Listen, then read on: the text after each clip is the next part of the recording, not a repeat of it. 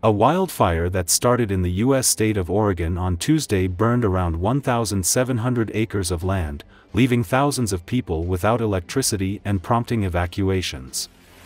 The cause of the fire is being investigated. Dubbed the Darlene 3 fire, the wildfire spread quickly on the outskirts of La Pine in Deschutes County. The fire had covered 3 to 5 acres when firelighters were dispatched to the scene of blaze at around 12.45 p.m. local time. However, an hour later, it covered 1,700 acres by Tuesday night, according to Central Oregon Interagency Dispatch.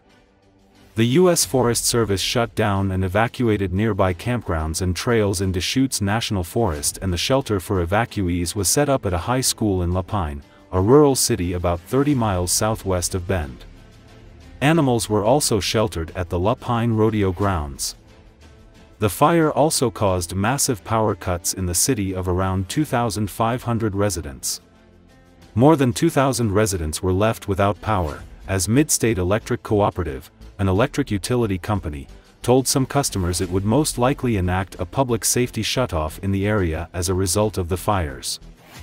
Amid the wildfire, Oregon Governor Tina Kotek invoked Oregon's Emergency Conflagration Act, a law that allows the state fire marshal to invoke the full power of the Oregon Fire Service to protect life and property.